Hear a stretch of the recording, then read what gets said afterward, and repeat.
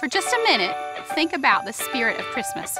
Years from now, which do you think you'll remember the best? Assembling an artificial tree you pulled from the attic. Or going out as a family to select the right tree for you. There's so many here to choose from. Is it the skinny one or the chubby one? Or this one right here?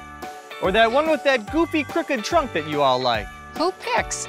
Mom, Dad? Youngest, oldest? Well, who got to pick last year? Probably mom. You pick the one that speaks to your heart.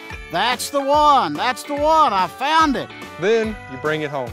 And what happens when you start decorating that tree? You share the memories. Oh, this ornament, I remember this one. Grandma and Grandpa are dancing in the front of the fireplace. Do you remember making snowmen? That smell, that wonderful fresh Christmas tree smell. That beautiful scent that fills the house. Smells like Christmas. That can't be manufactured. So, get the family together and make a memory that'll last a lifetime. It's Christmas. Keep it real.